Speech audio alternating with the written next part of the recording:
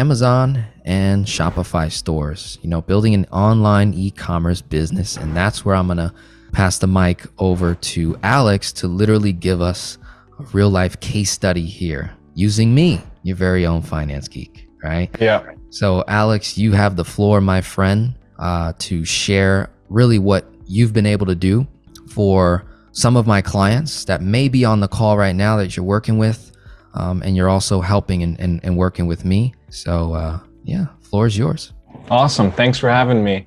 And uh, I want to start by saying I'm really excited about this ministry because I've been talking about it with Denzel for, I mean, maybe like a year, right, Denzel? Like maybe 10 months or so? Yes. Yes. Yeah. And so I'm going to be here every meeting. I hope to see everybody else here every single first Friday of the month and last Friday of the month.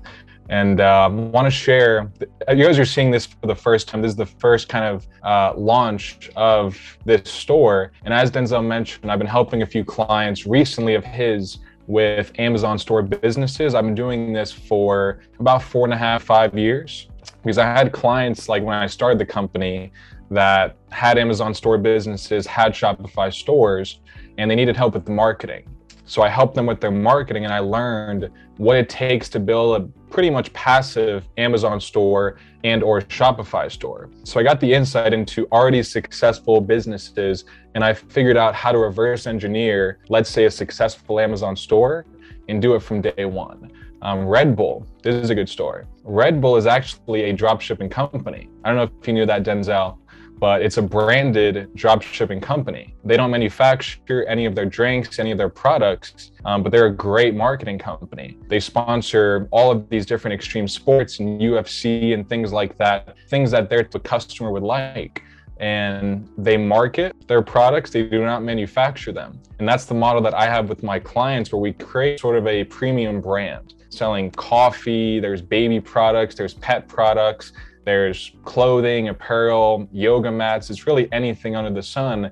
And the key is that we don't have to spend money up front on the product, right? Because if I told you spend $25,000 on yoga mats or some shirts that we don't guarantee are going to sell, that's a bit tough risk wise. But if I say, hey, let's put 50, 75, even 100 products on your store, and out of those 50, maybe 10 or 12 of them are going to kill it, that's a good risk. And so that's really the model that I took from these successful clients years ago when I started the company. And just from looking at Red Bull, I'm like, huh, it's really just a marketing company that puts their brand, puts their designs on different products, and they market it well as a premium product and they facilitate the transaction. They charge 25 bucks for a shirt and they get it facilitated by another company for 12. And they keep everything in the middle as profit. And so um, I've had many stores in the past, but it's been a recent offer helping Denzel's clients.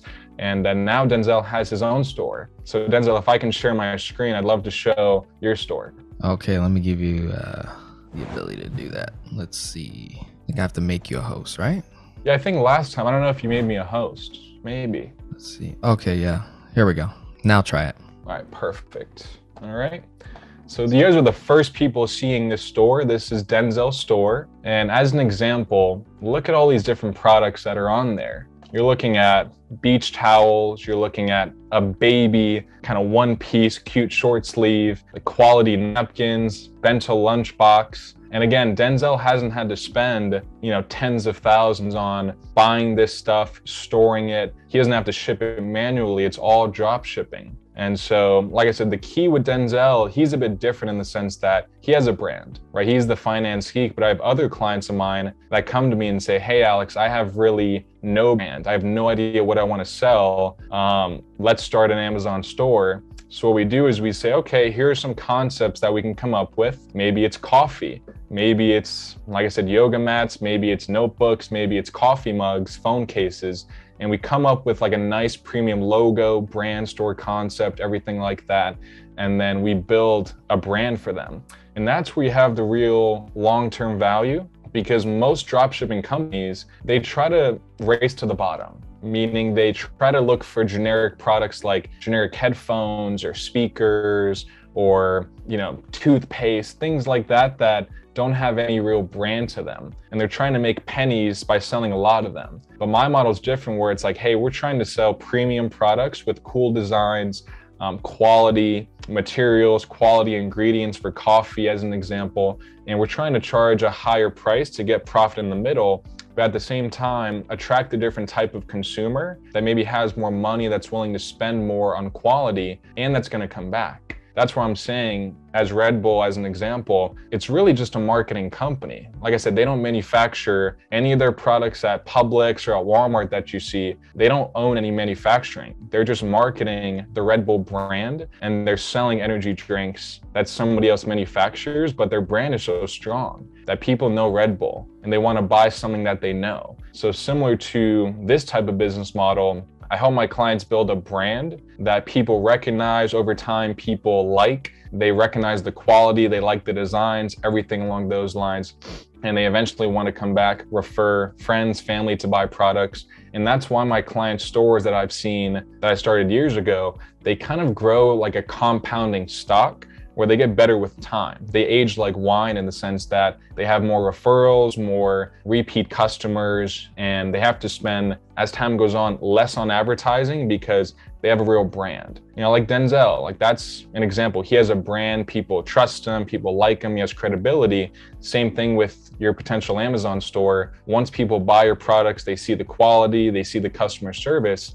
Um, they're going to come back and want to buy more. And I think the biggest thing is that for my customers, this is 100% passive because it's a lot of work to set up okay, what's the store going to be about? All these different products, the technology, what software to use, all this stuff. And I'm sure you guys have a job or a business, you guys have family, going to the gym, eating.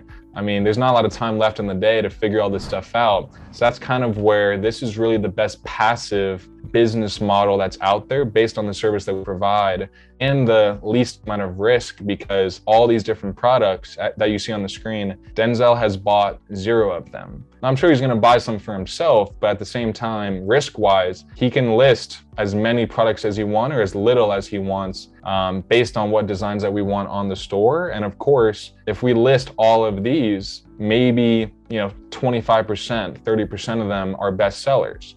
And so for you guys, that's where you want to look at that as a passive income business model, where even if it's not with us, somebody else, or maybe you tried on your own. Once you set it up correctly, once you have a good brand, good products, it grows over time organically. Um, and so, yeah, that's basically it. Denzel, any other things to add? Yeah, I would say um, if you have another example, maybe mm-hmm. that you could show, just to kind of give a little insight, just kind of like the differences. And then I would like you to go into saying, all right, who is this not for? Because. I I have had uh, some people reach out, and I think my mic just shut off. All right, how's my mic now? Good. Okay. Yeah. So um, I've had people ask me through email, and they're like, "Hey, is this guy, is this Alex guy legit? Um, you know, should I do this? Should I wait? Um, you know, how much money am I gonna make within the first, you know, six months, one year? Is it guaranteed? Is it not guaranteed? So kind of kind of go through really kind of ironing out like, hey, if you're doing velocity banking or if you're paying down debt, if you don't have the cash flow up front um, of X amount of dollars, you should probably, you know, wait, you know, or kind of just walk us through that. And then another example, if you will. Yeah, so I can pull up the example, but I do want to mention the points that you mentioned about I think it's a good fit for the majority, but the minority that it isn't a good fit for, I would say they're in the position that they're like struggling financially. I think there is a distinction between somebody who's, let's say, in the middle and yeah. somebody who's thriving versus somebody who like can't pay the bills. I wouldn't say that it's a great fit. I think. Are you sharing your screen fit. right now? Um, not. Oh yeah, I think I'm sharing my screen okay. because um, yeah, well, I had a whiteboard. I just want to break down some of the numbers that I've seen with past clients just to give people yeah. okay, idea. Cool. All right. So let me go back to the whiteboard. Floor is yours, and I'm going to spotlight you again. So. All right. So now it kind of went away. Well, let me stop the share. I can go back to the whiteboard.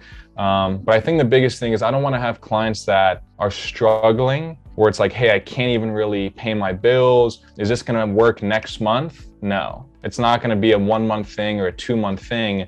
I mean, the initial program is a year because in the first three months, we're just setting up the store, right? We're creating something from nothing. We're creating a logo, store name options, branding, designs, the technology on the back end, setting up the store. Um, it's definitely a time consuming thing to just get it off the ground. So let's say that's three months. The initial three months after launching the store, I wouldn't expect to make much profit either. It's just testing. We're trying to test and see what products are working, which ones aren't, because again, it's a marketing company. We're not having to risk money for inventory, but at the same time, there's no guarantee in terms of what's selling and what's not. So we have to put the products out there, test and see are mugs selling, are bags selling, are shirts selling, are certain designs doing well or not doing well. Let's adjust based on that. Now, months six to 12 is where like clients have been in the past, as you know, an example, that's where they've started to start to see the real income growth because sales is a very misleading number. I mean, I could say my clients have made a million dollars in sales with their store, but what's the actual take home profit on that? Right. So I don't like to mention sales. I talk about after returns, after expenses, Amazon fees, all the fees involved. What's the actual net profit? So I like to try to aim for months six to 12 being about three to five, 6,000, but let's even say conservatively three to four in the first, let's say year, months six through 12. Um, because again, it's passive. It's not designed to be a million dollar business, right? It's more so consistency, predictability, reliability on the passive side and growing it from let's say years one to two, two to three, etc. That's really the goal with this business is to look at it as a long-term asset, cash flow wise. Same thing with real estate. You're not necessarily going to buy a piece of real estate and then immediately start killing it with cash flow right. in the first few months, even in the first six months. So that's how I like to look at clients where, like, if this is going to be a struggle, going back to your question, if this is going to be a struggle for you to pay for and you need the money like next month, I don't think that's really a good fit. Um, and at the same time, if a client wants to make like significant income, like I want to make 25,000 a month or 30,000 a month, it's like, it's just not necessarily what we strive for in the first year. Who knows, maybe in years two, three, or four, once they start to self manage it, which we teach them to do, but that's a bit tough from like, you, you should probably start your own business that's maybe higher risk, high reward to get that type of income. But with this, it's more of a passive income model where instead of investing in stocks or index funds or real estate or crypto, I look at this as an alternative to that where we're not trying to hit a home run, we're trying to hit like a double, right? Like the first six months, don't even really think about them. The next six months, let's hit like three to four thousand a month but then years two three four etc that's where the returns can compound and over time grow from there um, so I would say that's how you want to look at expectations realistically yeah. and risk. Like I'm saying, if you have ten thousand dollars in your bank account, I don't know if it's the best fit. Maybe if you have, you know, 20, 30, or you have some credit, you can get creative because, like I said, it's not necessarily something that's gonna make you your money back instantly. So you want to make sure if you're going to make an investment, you don't want to be using all debt or if not too much debt to where then it starts to eat into your passive income from the business, if that makes sense. Yeah, yeah, no, that's clear. Yeah, I had a client, um, pastor, and you know he's got some money saved, emergency fund. He's paying off debt. We had a whole strategy together, and I was like, yeah, you know what Alex is doing is legit and all, but it just may not be the right timing. So let's exactly. keep doing velocity banking. Let's knock down these debts over here. Let's build a credit up. Let's, you know, maybe put the policy in place that you wanted to do. Let's let's kind of get that foundationally set. And then when we're ready to make a 5,000, 10,000 investment, because that's about the price range to do this, right? Around five, 10? Yeah. I would say closer to 10 because that includes the marketing spend, Amazon store fees. It just, it's all inclusive because um, a common question I get is why would my store not be successful? I mean, nothing is 100% successful, which is 100% true. I would say two reasons why I've seen client stores in the past not be successful. Uh, number one, they don't have the marketing spend. Because let's say they want to come in at like a low price point of I only have 6,000 or 5,000 or whatever, 6,500. I would say, look, let's get started on the store, but that doesn't include marketing spend, which is thousands, right? To really get it off the ground. And they say, okay, I'll have that ready to go in like three to four months once we launch the store, if not, you know, two and a half months.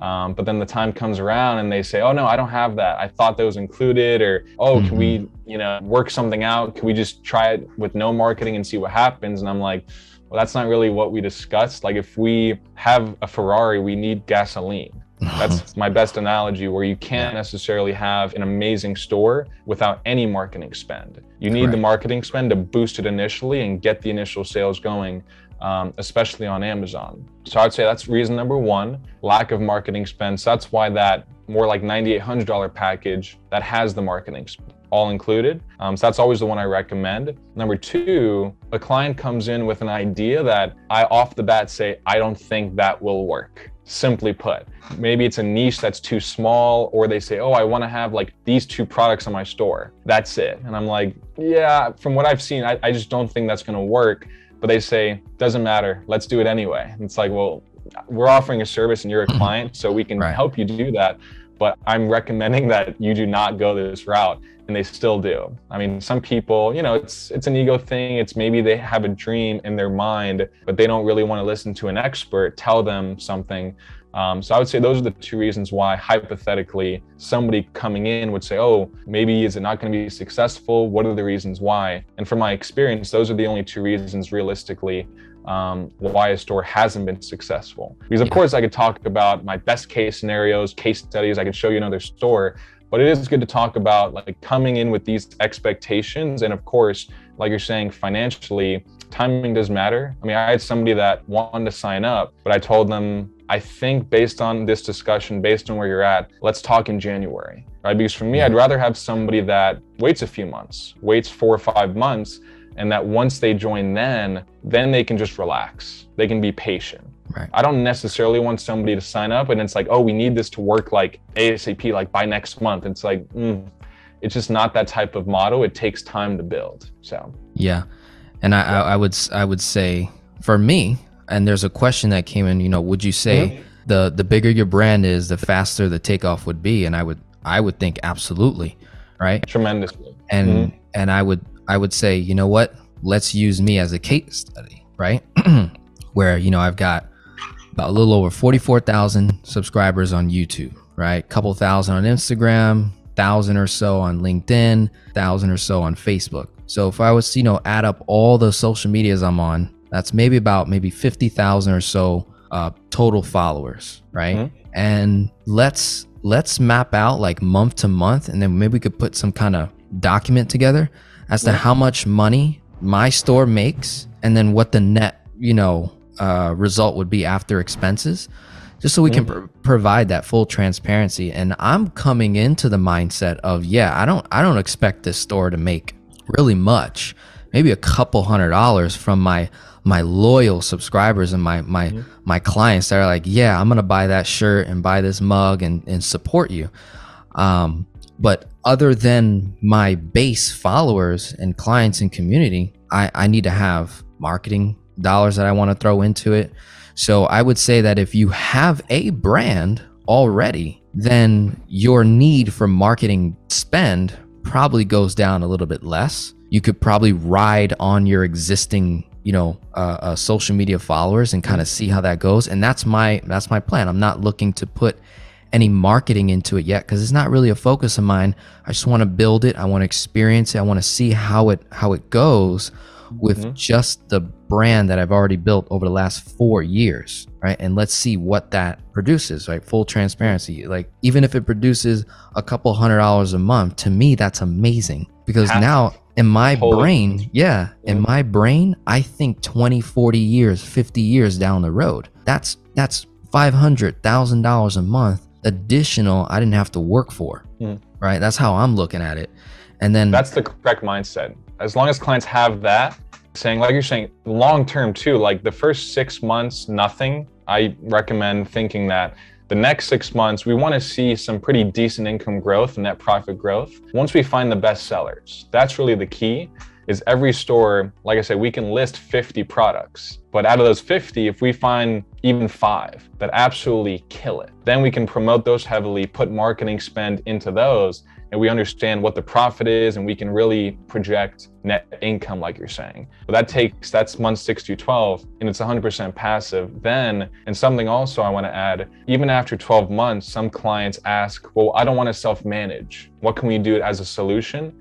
And i don't want to upsell them into something else. I want to say look here's a virtual assistant. Let me train them let me onboard them onto your store from the Philippines, five bucks an hour, hardworking, very good English speakers, very efficient. Let me train them, onboard them, put them onto your store for like a hundred bucks a month, and they can manage store for you. So there's always a solution to keep it passive um, because that's a common question that I've gotten with a lot of clients is what if I don't want to self-manage it after the first year? And I'm not going to say, oh, pay us another what 9,800 and we'll keep managing it. The goal is for it to be 9,800 to where we get the store, you have the marketing, you have everything included, and the training on the back end of it. That's the key. And if not the training, you get the VA that we train for you, and you can build that into the business model. Um, so, like you're saying, the passive income side, looked at in a year, it's like, eh, like it's not a crazy amount of money, but the passive aspect of it and the long term aspect, even over 10 years, that's definitely a significant amount of money, especially relative to what else is out there with yeah. stocks and real estate and crypto.